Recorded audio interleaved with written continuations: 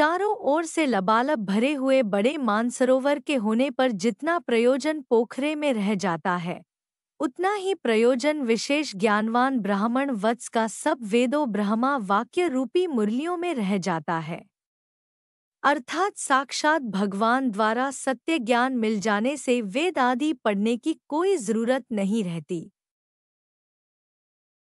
चारों ओर से लबालब भरे हुए बड़े मानसरोवर के होने पर जितना प्रयोजन पोखरे में रह जाता है, उतना ही प्रयोजन विशेष ज्ञानवान ब्राह्मण वत्स का सब वेदो ब्रह्मा वाक्य रूपी मुरलियों में रह जाता है।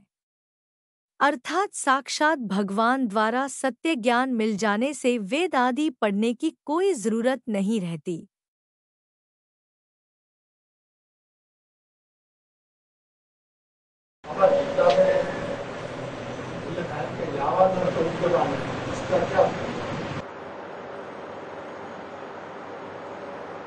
श्लोक का अर्थ है कि जितना प्रयोजन उदपाने एक छोटे से ताल तलैया में रहता है,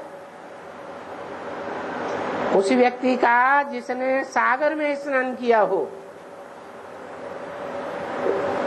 तो उसे छोटे से ताल तलैया का क्या महत्व रह जाएगा?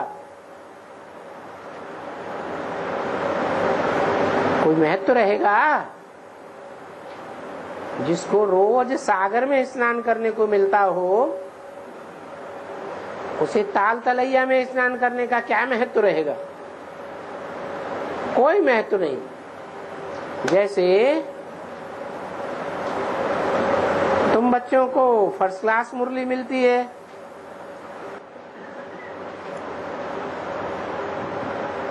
कोई को सेकेंड क्लास टैप रिकॉर्डर से मिलती है,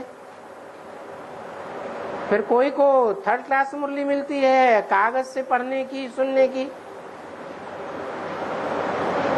तो जिनको फ़र्स्ट क्लास मुरली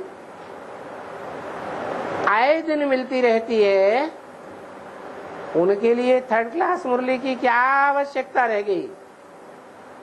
कोई प्रयोजन नहीं, कोई अर्थ नहीं।